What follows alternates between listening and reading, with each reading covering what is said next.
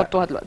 يمكن من ضمن. الحاجات المهمة قوي إن هناك ما يطلق عليه اسم جوف الأرض. أهي يا دكتور. ده إيه يا دكتور ده؟ يعني دي خريطة بتوضح هنا الجوف الأرض نفسه والمداخل والمخارج لأن المفروض إن في فتحتين في القطب الجنوبي والقطب الشمالي هم اللي بيقودوا إلى جوف الأرض بشكل كبير.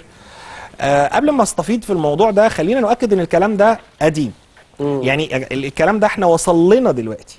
ابتدينا نعرفه دلوقتي. okay. لكن الكلام ده بره من 50 و60 سنة. okay. صدقا يعني. okay. okay. في في. غموض كبير حوالين الم- القطبين يعني فيما يخص الدخول ليهم كويس. و... واستكشافهم وكده. طبعا. يعني هو الحقيقة إن حدود الأرض اللي إحنا عايشين عليها هي حدود مزيفة بشكل كبير جدا.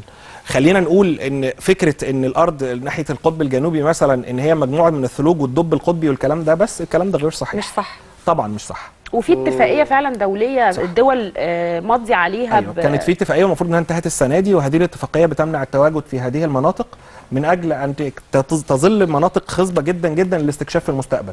الكلام ده فيك إنما الحقيقة إن هم مانعين إن حد يكشف حقيقة ما هو اللي موجود خلف ما يطلق عليه الجدار الجليدي وهنا كلمة جدار جليدي إحنا بنقولها بس كمصطلح وهمي يعني هو في جزء من الجليد آه لكن بي بي بيتم الترويج إن هو مغطي. إيه؟ مش عارفين. مساحة صغيرة.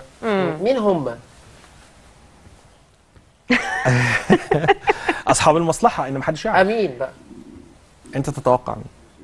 لا حضرتك قولي حاجة دكتور انت تتوقع مين حضرتك الدكتور بقى توقع ده بالليل بقى. وإحنا على القهوة أنا الخمسة. الدكتور قول لي أكيد صاحب المصلحة اللي موجود في هذه المنطقة أو اللي بيحاول إن هو دايما يفرض سيطرته على العالم بشكل كاذب أو بشكل وهمي هو اللي من مصلحته إن محدش يعرف إيه هي التكنولوجيا أو إيه هي الأماكن اللي موجودة امين بقى خلينا نقول أمريكا it's okay عايز نشير إلى إيه؟ أمريكا it's okay عايز تشير إلى أنا ما أنا معينة؟ بسألك. ما أنا بقول لك آه. عايز تشير إلى ان نقول أمريكا it's okay أمريكا حاليا هي اللي بتمثل ده لانها إيه number 1 في المنظومة